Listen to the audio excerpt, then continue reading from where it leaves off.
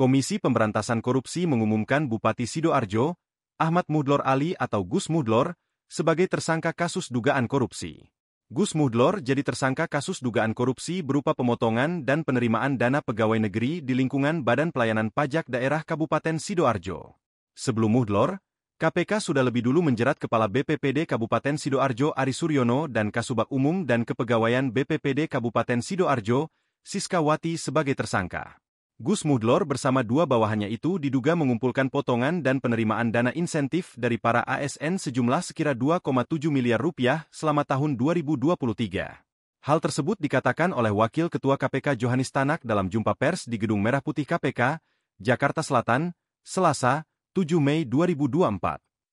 Atas perbuatannya, Gus Mudlor disangkakan melanggar pasal 12 huruf FUU Tipikor Yungto pasal 55 ayat 1, pertama KUHP. Ancaman hukumannya penjara maksimal 20 tahun atau denda maksimal 1 miliar rupiah. Gus Mudlor pun sudah ditahan penyidik mulai 7 Mei hingga 26 Mei.